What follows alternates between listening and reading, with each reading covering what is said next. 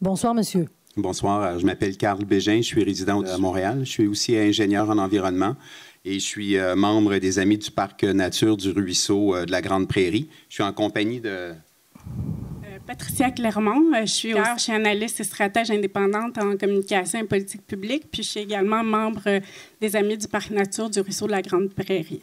Bonsoir à vous deux. Alors nous, on voulait prendre l'opportunité de combiner notre temps pour essayer de ramasser ça en six minutes. On a une espèce de plaidoyer aussi à faire. On pourrait l'intituler Changer de conversation. Donc, on va alterner la parole comme ça, puis on aura peut-être des questions plus tard. Euh, d'emblée, moi, j'aimerais dire que je trouve inacceptable, euh, inconcevable que cette soirée de consultation publique s'effectue alors qu'elle n'a été confirmée que vendredi dernier, en après-midi. C'est aussi à ce moment-là que la documentation était rendue disponible. Toute la mise en place témoigne, à mon sens, puis au sens de plusieurs personnes qui sont présentes ici et absentes, euh, d'un manque de respect envers les citoyens, envers les organisations, euh, et puis les différents groupes. OK. Euh, Juste avant de vous continuer, ça va quand même, vous allez avoir votre six minutes, ne vous inquiétez pas. Mais c'est important que je vous interrompe parce que Mme Tosheva va informer les citoyens au niveau des délais parce que c'est vraiment pas vendredi que ça a été annoncé. Là. Euh, déjà, à la séance du 7 octobre, Monsieur le maire a mentionné qu'il va y avoir une assemblée publique de consultation le 23. On a changé la date, c'est simplement un jour plus tard. Donc, ce n'est pas une surprise pour personne la tenue de cette euh, assemblée publique. En plus, il y a eu la publication le 15 de l'avis public qui est annoncé cette. Euh, Donc, la publication qui est une obligation légale de l'arrondissement. La documentation, ça fait pas si longtemps que ça est disponible. Je veux dire, on parle de notre avenir. Là. On est sur un agenda hyper accéléré. Où est l'urgence, à part l'urgence climatique, qui nous pose, qui pose un temps pour ralentir, pour réfléchir. Là, on est bousculé. Là. les échéanciers, on les respecte peut-être. C'est un plaidoyer à changer la conversation. Donc, même ces échéanciers-là peuvent être, devraient-ils être mis en question? Euh, on fait ça, nous, de façon bénévole. On a, comme plein de monde ici, des familles, des vies professionnelles à faire. Euh, euh, nos agendas sont surchargés. Donc, encore là, on va vite, on va vite. donc, on trouve qu'il manque de. Ça serait une question de respect et de justice, en fait, de programmer que cet exercice-là soit en dehors et surtout à l'extérieur d'un calendrier euh, rythmé sur les exigences du conseil d'arrondissement. C'est juste en lisant l'ordre du jour du dernier conseil d'arrondissement, dans le fond, qu'on a pu, comme citoyen puis comme groupe, qu'on a pris la décision de la consultation publique. C'est très exigeant de demander aux citoyens de se plier à cette logique-là qui nous exclut, on sent, de facto, même si, oui, il y a beaucoup d'exercices, beaucoup de participation, mais il faut inverser la séquence. On est devant les faits plutôt que d'être appelé à travailler sur les valeurs, sur les principes, sur les visions. Fait que euh, c'est mentionné qu'on peut soumettre des mémoires. Euh, là, on sait jusqu'à quelle date. On le sait depuis ce soir. En tout cas, moi, je le sais depuis ce soir. Euh, mais c'est juste ce soir qu'on a l'opportunité de se faire entendre puis d'échanger peut-être avec le promoteur. Donc, la conversation doit changer puis on doit être davantage inclus en amont des décisions, puis non de manière cosmétique ou en passant le bulldozer. L'acceptabilité sociale est à ce coût-là. Ça, c'est le premier parti. Merci beaucoup, monsieur. Alors, Madame, juste avant que vous continuiez, je veux juste réagir à quelques-uns de vos commentaires parce qu'effectivement, il y a beaucoup de documents euh, qui ont été rendus disponibles sur l'Assomption Nord. Mais vous savez qu'habituellement, les consultations publiques, les documents sont rendus disponibles, les présentations que vous recevez sont rendues disponibles le lendemain. Alors, dans ce cas-ci, au niveau de l'Assomption Nord, vu l'importance du dossier et vu la longue historique aussi du dossier, on a cru bon créer un onglet sur le site Internet de l'arrondissement spécifiquement pour être en mesure de vous donner accès aux renseignements en prévision de la soirée. Évidemment, euh, on s'entend qu'on fait notre possible euh, de créer l'onglet et aussi de rendre les documents disponibles. Donc, il y en avait quand même pas mal sur le site. Donc, si je cite, là, il y avait l'avis public, il y avait les informations sur le PPU, l'Assomption Nord, il y avait la présentation qui a été faite au CCU, il y avait le règlement modifiant le règlement d'urbanisme de l'arrondissement, le rapport final de l'OCPM de 2017, le PPU au niveau du sommaire décisionnel, la modification du règlement d'urbanisme au niveau du sommaire décisionnel, les trois dossiers qui sont passés au au conseil d'arrondissement précédent, puis également les quatre études qui ont été faites, donc l'étude faunique terrain l'Assomption, l'étude faunique terrain Sherbrooke, également les deux études qualitatives sur les arbres, soit celle sur le boisé l'Assomption et de Marcel et celle des arbres sur les rues Sherbrooke Est et l'Assomption. Alors c'est sûr que ça faisait beaucoup de documentation, mais on croyait qu'en perspective de ce soir, les citoyens apprécieraient avoir accès à ces informations-là. Et puis évidemment, c'est libre à chacun d'en prendre connaissance ou de pouvoir avoir le temps d'en prendre connaissance. J'en conviens qu'il y avait beaucoup de documents, mais je vous dirais qu'habituellement, ces documents-là ne sont pas rendus disponibles avant une consultation publique parce que c'est vraiment la teneur de l'importance de la consultation que ce soir, on a voulu collaborer et vous fournir ces documents à l'avance. C'est tout à l'honneur de, de, l'arrondissement puis de l'appareil municipal de procéder ainsi, là, mais vous venez de faire la démonstration justement en énumérant cette liste de documents-là comment se les approprier? L'accessibilité à l'information, c'est pas juste de la rendre disponible, c'est de donner un temps de réflexion sur cette documentation-là pour nous permettre de réagir aussi. euh, donc, il y a beaucoup de nuances à apporter. Je vais céder la parole. Mais n'oubliez pas que ce soir, on est à l'étape 2. Hein, quand on parlait de l'échéancier tout à l'heure, il y a huit étapes dans le processus.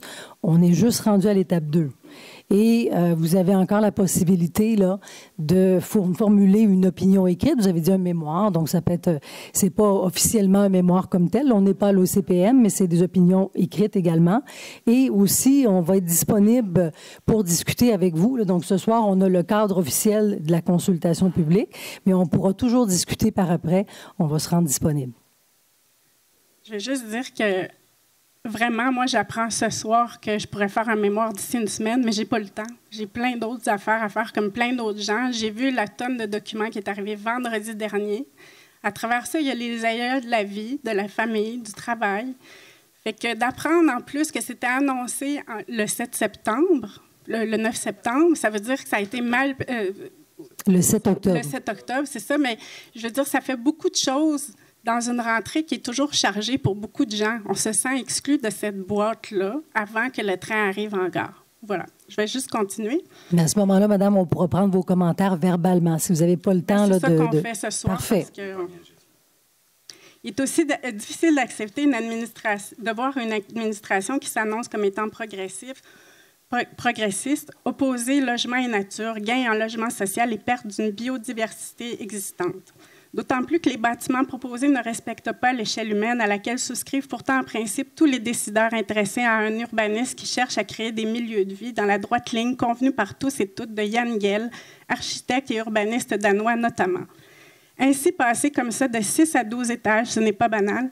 Quand on veut créer des milieux de vie dynamiques à échelle humaine où tous ceux qui passent, résident et travaillent ne se sentent pas écrasés par une architecture qui cherche davantage à rentabiliser le pied carré qu'à optimiser tout ce qui peut s'y passer. Combien de tours dans cette ville comprennent des cafés déserts, des épiceries froides, des commerces qui ouvrent et ferment, justement parce que la hauteur empêche l'activité à l'horizontale de nourrir l'espace au lieu de simplement le remplir? Et s'il faut faire du 12 étages, il faudrait au moins une compensation au sol. Bâtir 12 étages sur deux fois plus petit terrain au lieu de bâtir deux fois plus haut sur la même superficie. On nous répondra que le promoteur doit rentabiliser son investissement et chercher son profit, qu'il pourrait faire ce qu'il veut de son propre chef sans collaboration aucune avec l'administration. Mais la conversation doit changer et le gain doit désormais aussi être collectif et gagnant pour tous et toutes au niveau de la qualité du milieu de vie. Merci beaucoup, Madame.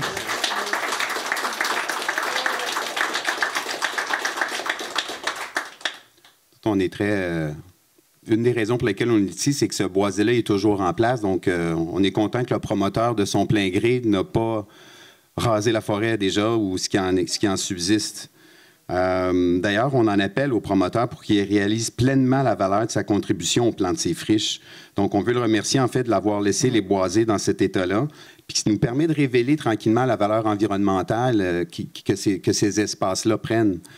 Euh, et, donc, ça fait évoluer les consciences, puis ça, nous permet de prendre conscience des services écosystémiques qui sont rendus, rendus gratuitement par ces boisés-là, euh, dans un secteur qui est fortement très minéralisé déjà.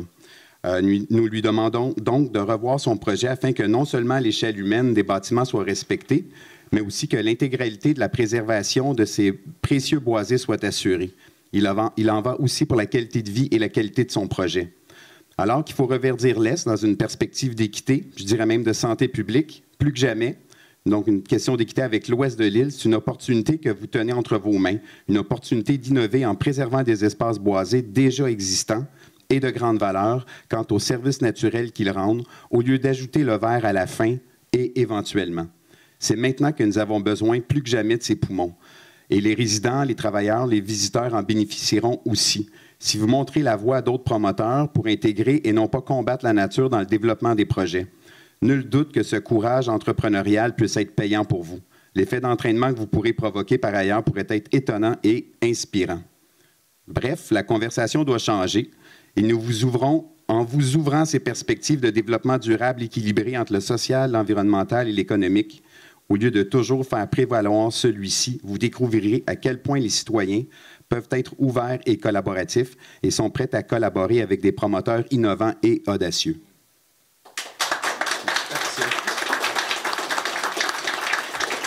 Je vais terminer. Enfin, j'en appelle au nécessaire courage des élus, en sachant que le courage implique la peur, celle des conséquences, notamment politiques, mais aussi au plan des relations. Par exemple, celle de perdre la collaboration du promoteur. Mais déjà, dans le rapport de l'OCPM au sujet du PPU de l'Assomption Nord, l'organisme avait souligné la préoccupation des citoyens relativement à ces boisés, sans aller jusqu'à en faire une recommandation. Depuis, la qualité de la vie dans l'Est a enfin retenu de plus en plus d'attention et elle n'a pas fini. Dans cette optique aussi, il n'y a pas lieu de faire prévaloir des logements sociaux si la qualité de la santé publique est à terme de nouveau grugée. Désormais, d'autant plus avec la signature d'une déclaration d'urgence climatique, ce qui veut dire qu'il faut remettre le business as usual en cause, les citoyens vous demandent d'avoir du courage.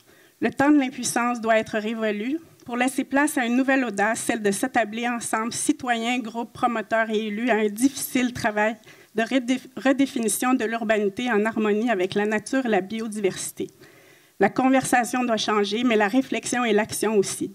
L'urgence économique ne peut plus prévaloir toujours en fin de compte. La donne climatique nous oblige à la faire changer et nous donne une occasion de faire une différence au plan social aussi. C'est pourquoi nous osons demander, nous demander, et pourquoi ne pas rouvrir le PPU de l'Assomption Nord pour, pour permettre un développement véritablement à échelle humaine et en respect avec la nature existante, en prenant en compte les services qu'elle nous rend si généreusement. Vous seriez surpris de l'appétit des citoyens pour qu'un tel exercice se fasse de manière diligente, intelligente et autrement que dans la confrontation urbanisme-nature, citoyen-promoteur. Et c'est une avenue que nous, les amis, allons les amis du Parc Nature, allons sérieusement explorer. Surtout, nous insistons, l'acceptabilité sociale est grandissante pour la préservation de ces boisés et non pour des promesses de verdissement. Merci.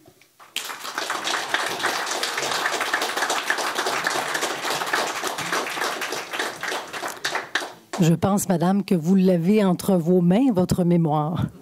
Donc, vous n'avez pas à passer du temps supplémentaire. Si vous souhaitez déposer votre document et que ce soit consolidé au procès verbal de l'Assemblée, vous êtes libre de le faire. Donc, Madame Tosheva pourra recevoir à ce moment-là votre document si vous souhaitez le déposer. Parfait. Merci beaucoup.